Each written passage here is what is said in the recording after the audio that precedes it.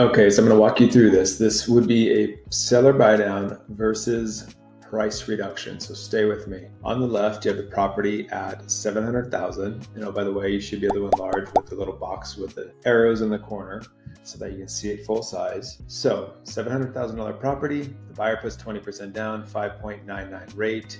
In this example, with taxes and insurance, roughly 37.83 per month. Okay.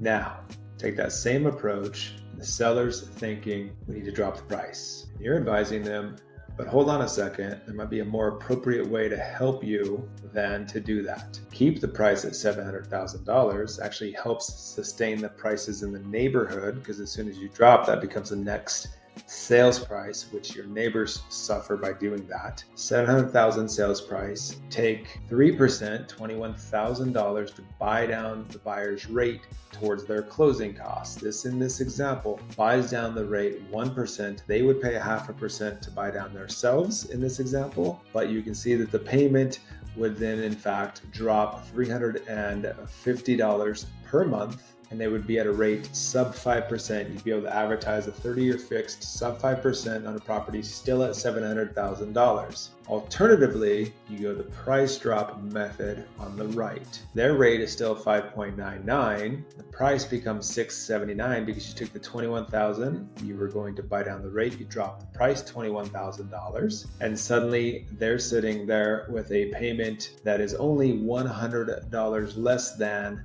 when it was at $700,000. So is that buyer who's fearful of these high rates enticed when they're going to save $100 versus an additional 250 for a total of $350 in savings? This might move the property compared to the price drop. Hope that helps. If you need further explanations, reach out.